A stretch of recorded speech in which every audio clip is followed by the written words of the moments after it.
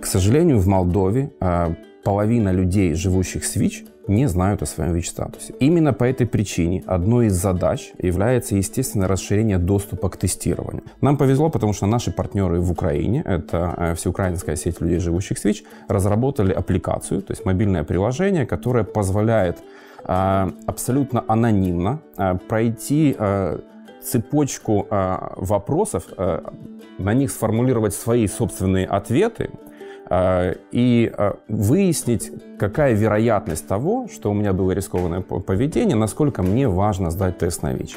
В этом году впервые в Молдове было представлено это приложение.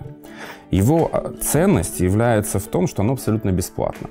Любой человек, который заинтересован в этом приложении, может либо в Play Market, либо в App Store скачать это приложение. Оно очень легко, просто как бы в использовании что я буквально за три минуты могу узнать степень э, вероятности того, что я могу быть инфицирован, и узнать э, адреса, географические локации, контактную информацию всех тех сервис-провайдеров, которые могут мне э, помочь узнать мой ВИЧ-статус.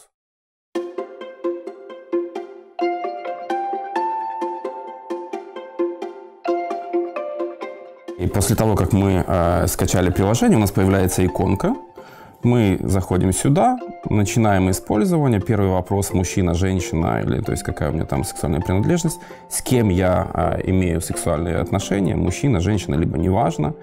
А, потом количество партнеров а, за последний э, год, ну, к примеру, там больше одного. Я занимаюсь ли сексом за вознаграждение? Да, нет. Ну, ставим нет. Я знаю, что у моего партнера а, по сексу есть ВИЧ-статус. К примеру, я затрудняюсь ответить. более 6 месяцев э, назад. Ну, здесь есть как бы информация о том, что это тест на ВИЧ, но он не является стопроцентным. То есть он показывает как бы вероятность. И в случае положительного результата или, скажем так, большой вероятности риска, то мне все-таки как бы нужно сдать тест на ВИЧ. Я соглашаюсь с этим, и приложение высчитывает степень вероятности. У меня в, в моем случае 52% вероятность того, что я мог бы быть инфицирован. Приложение мне дает э, возможность узнать ближайшие пункты, где можно сдать тест на ВИЧ, я нажимаю э, их, и у меня появляются все э, геолокации э, в Кишиневе, э, в которых можно сдать тест на ВИЧ. Я могу на любую э, нажимать, и у меня появляется э, адрес и контактная э, информация по поводу этого непосредственно сервис-провайдера. Все, что мне остается сделать, это просто связаться, поинтересоваться, как я могу прийти сдать тест на ВИЧ, какие условия. И это очень важно сделать. Современные технологии позволяют э, сделать так, чтобы человек ВИЧ-позитивный был не опасен даже для своего сексуального партнера.